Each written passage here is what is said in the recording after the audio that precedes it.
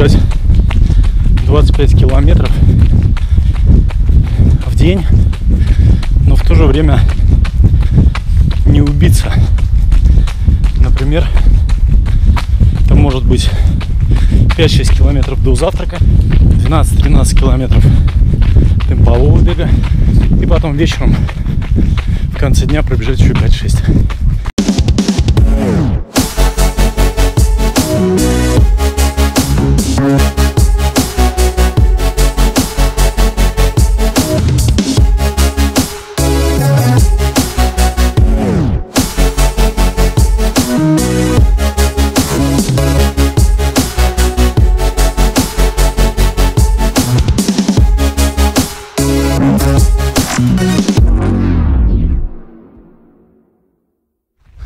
Друзья, салют! Давно не виделись. С вами снова Виктор Осокин. Есть две причины, по которым я решил сделать новый проект. Первая причина.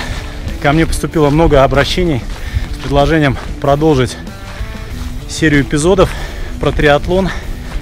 Ну и вторая причина, наверное, основная, это то, что я отобрался на чемпионат мира 2018 я сделаю несколько эпизодов. В них расскажу, как отобрался на чемпионат мира, какой это был путь. Отдельно я хотел бы рассказать про то, как будет строиться подготовка, потому что фактически осталось примерно полтора месяца. Такая самая важная фаза подготовки. Мы поговорим о каждом отдельном виде спорта, о плавании, о велоподготовке come on, come on. Я надеюсь, что в этих эпизодах информация будет полезная и тем, кто хочет, мечтает, целится попасть на чемпионат мира по Ironman, а также тем, кто просто готовится пройти эту дистанцию. Опять же, почему? Потому что подготовка на чемпионат мира – это такой же длинный триатлон, такая же классическая дистанция, и подготовка к ней принципиально не вносит ничего нового. Итак, что такое чемпионат мира? Так получилось, что примерно 40 лет назад э, триатлон, как вот такой спорт, который мы сейчас его знаем, каким мы сейчас его видим, он зародился на Гавайях и, собственно говоря, вот начал там свой шаг по планете. И сейчас э, есть разные серии по триатлону. Есть серии челлендж, есть серии российские, например, есть испанские, французские, американские. Но э, так сложилось, что Ironman, серия Ironman, она самая известная в мире. Э, в ней участвуют самые сильные спортсмены. Она самая массовая, самая развитая. И, конечно же, это дает ей э, определенный статус. Сейчас проходит порядка там, больше 40 э, соревнований в серии Ironman на длинную дистанцию и огромное количество соревнований на более короткие, на половинки, на э, олимпийские дистанции. И вот с этих 40 стартов с лишним э, есть возможность отобраться на чемпионат мира, который проходит на Гавайях. Как э, происходит отбор? То есть э, на Ironman чемпионат мира можно попасть несколькими способами. Можно выиграть в лотерею, можно купить э, так называемый там, э, спонсорский пакет, заплатив достаточно серьезную сумму денег, получив право участвовать в чемпионате мира. А слоты также выдают отдельно звездам, каким-то знаменитостям э, просто так, чтобы каким-то образом поднять ну, известность этой гонки. И основной, конечно, и, на мой взгляд, самый правильный способ отобраться и поучаствовать в чемпионате мира, это, собственно говоря, своим результатом квалифицироваться, доказать, что ты сильный спортсмен, что ты можешь э, участвовать в чемпионате мира среди таких же сильных спортсменов.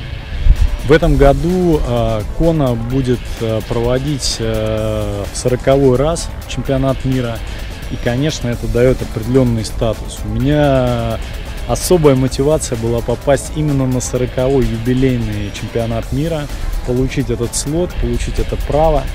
Посмотрим, что из этого получится. Итак, друзья, на борту у меня сейчас 9 э, длинных дистанций. Первая гонка была в Барселоне.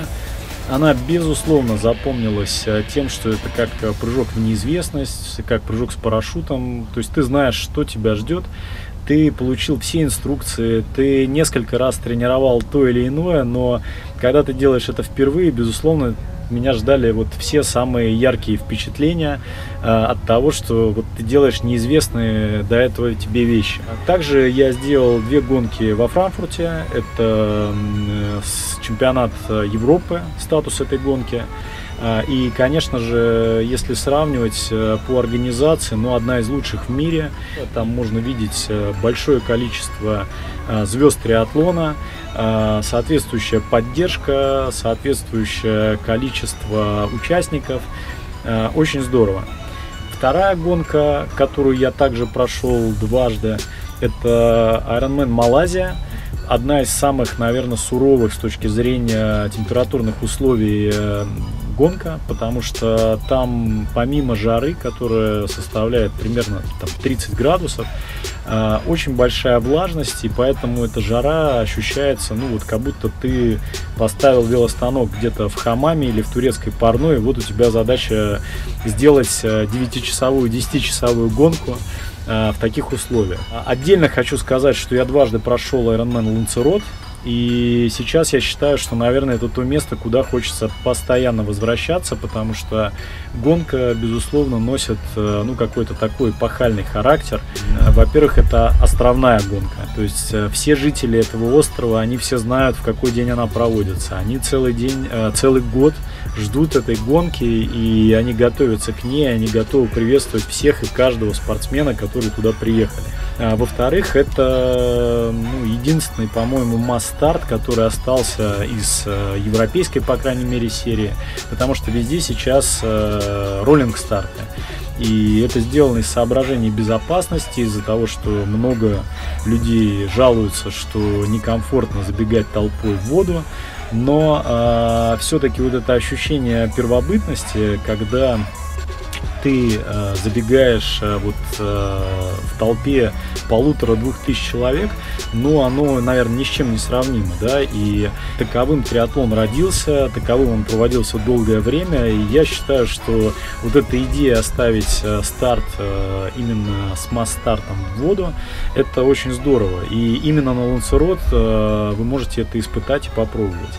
Также я сделал э, одну длинную дистанцию на э, российском старте в городе Сочи. Э, мне удалось э, в прошлом году там выиграть свою возрастную группу и занять э, четвертое место в абсолюте. И последняя гонка была э, в Великобритании, это был Ironman UK в городе Болтон. Это такая практически центральная часть Англии, такая, я бы сказал, периферийная немножечко. А, и я приехал туда за 4 дня специально, чтобы посмотреть, как выглядит э, плавательный этап, как выглядят другие этапы. И могу сказать, что вообще настрой был э, настолько боевой, что я не сомневался в том, что отбор на этой гонке должен состояться. Ну, понятно, что гонка есть гонка, и все может произойти в ней. Были какие-то моменты, связанные с тем, что из-за очень такой серьезной жары в Европе, в Англии, э, ну, горели леса. И велоэтап буквально вот э, за там, три дня поменяли, сократили до 155 километров.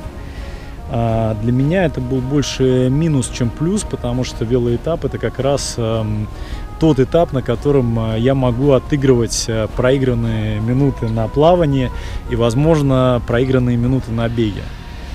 Но гонка прошла достаточно удачно. Я э, проплыл час десять.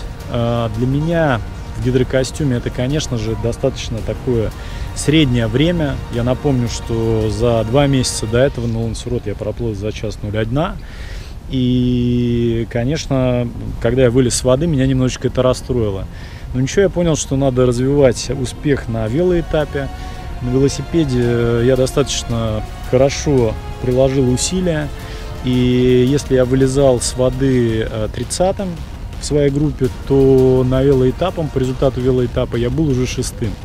Выйдя на бег после велосипеда, э, я каким-то образом спазмировал внутри то ли желудок, то ли какие-то внутренние органы, но тем не менее я не мог в течение там первых двух километров бежать, потому что проблема была разогнуться. То есть я разгибался, мог спокойно идти, но как только я переходил на бег, ну, становилось просто больно настолько, что я не мог бежать.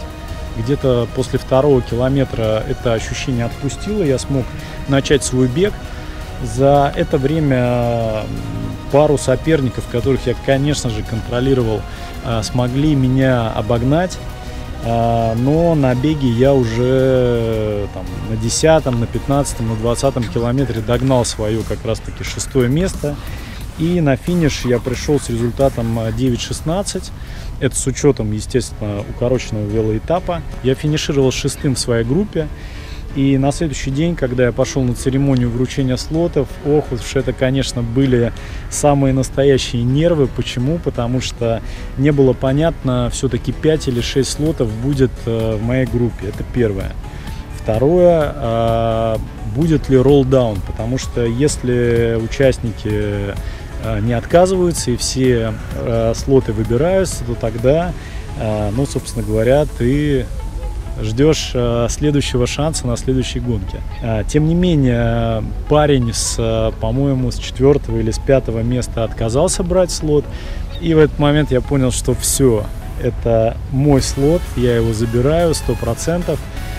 Это очень такая торжественная церемония, где тебя вызывают, тебе вручают э, бутылку гавайского пива, тебе вручают этот железный слот, медалька. Посмотрите, как она выглядит.